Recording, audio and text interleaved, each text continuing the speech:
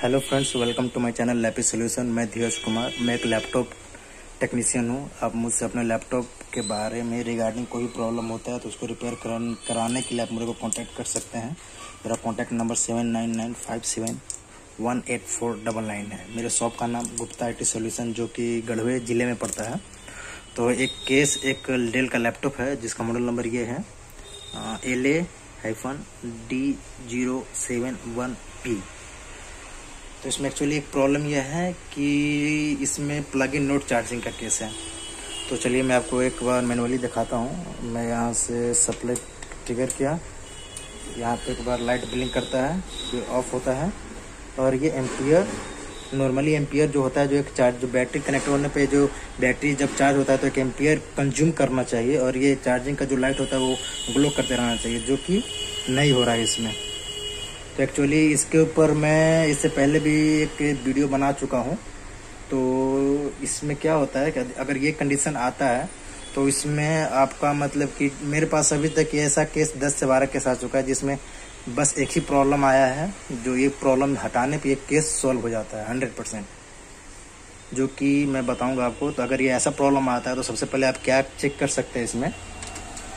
आप सबसे पहले जो ये डीसी जैक है इसके पिनों पे, दो पिन पे तो उन्नीस वोल्ट मिलेगा और एक पिन पे 3.3 वोल्ट मिलना चाहिए, जो कि ए डी आई डी मतलब कि ये जो एडेप्टर कनेक्टर का जो होता है सप्लाई सेंस के एडेप्टर लगा हुआ है, उसका 3.3 वोल्ट मिलना चाहिए एक पिन पे।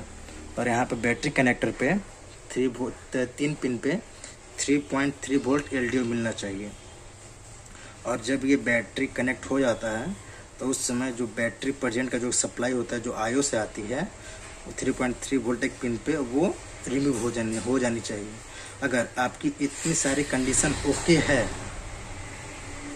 समझ रहे ना कहना मतलब? अगर आपकी इतनी सारी रिक्वायरमेंट ओके है डीसी जैक पे उन्नीस वोल्ट के साथ थ्री पॉइंट थ्री वोल्ट सभी कनेक्टर पे थ्री ती, तीन बैटरी कनेक्टर के तीन पिन पे three point three volt LDO और बैटरी लगाने पे एक पिन से three point three volt out हो जानी चाहिए। अगर इतनी सारी रिक्वायरमेंट है और उसके बाद अगर आपका ये केस आता है प्लग इन नोट चार्जिंग का, जैसे कि हम सप्लाई दिए हैं लाइट बिलिंग करता है, बुझ जाता है एम्पियर रिमूव नहीं करता बैटरी लगा हुआ है प्लग इन नोट चार्जिंग का केस आता है तो उस केस में आप कुछ नहीं कीजिएगा। बस आपका जो ये डीसी जैक है, उसको बस आप चेंज कर दीजिए, आपका केस रिजॉल्व हो जाएगा।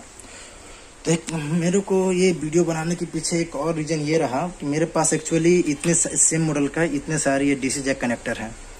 तो मैं एक बार क्या हुआ कि मैं ये ओल्ड वाला रिमूव करके जैसा मैं करता हूँ, मैं न्यू वाला लगाया। तो मैं एक यूज़ किया तो जब नया वाला लगाया तो इसमें सेम प्रॉब्लम रहा। मतलब प्रॉब्लम रिजोल्व नहीं हुआ सेम प्रॉब्लम रहा। Connecting charging connecting adapter connecting not charging वाला। तो मैं क्या करूँ भाई, उसके बाद मैं सारा सप्लाई देखा H D S C L सब निकला, उसके बाद भी सेम कंडीशन हो रहा।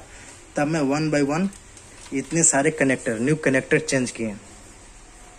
इतने सैंडू कनेक्टर चेंज किए तो आखिर मेरे को एक एक और कनेक्टर मिल ही गया, जिसको लगाने के बाद ये केस रिजॉल्व हो गया। तो आप थोड़ा सा पेशेंस रखें। ये वीडियो बनाने के पीछे ये मेरा मुद्दा है तो थोड़ा पेशेंस रखें। अगर एक से नहीं होता है तो हड़बड़ाएँ नहीं। आपके पास जितना है, तीन, चार, पाँच छः उसको आप लगा करके एक बार कन्फर्म हो लें। क्योंकि मेरे पास एक आया तो मैं इतना सारा यूज़ ऑलरेडी यूज़ कर लिया। ये चार नए वाले यूज़ करने के बाद ये पांचवा वाला, ये ये ये कोने में जो पड़ा हुआ था, इसको मैं हटाया।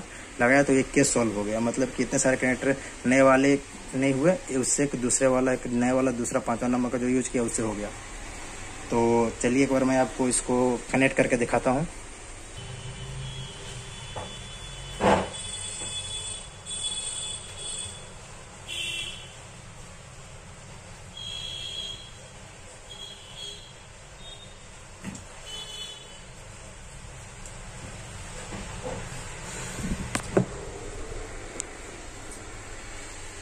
देखिए मैंने पुराने वाले हटा दिए नया वाला लगाया हूँ और इसको मैं सप्लाई देता हूँ। लाइट ब्लिंक हुआ।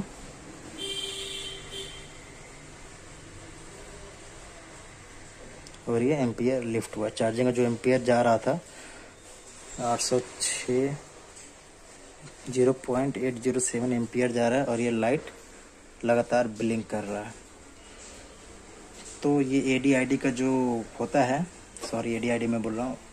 Plug in charging plug in adapter not charging का जो केस होता है, अभी तक मेरे पास मैक्सिमम बहुत सारे केस हैं तो मैं बस एडेप्टर ही चेंज किया।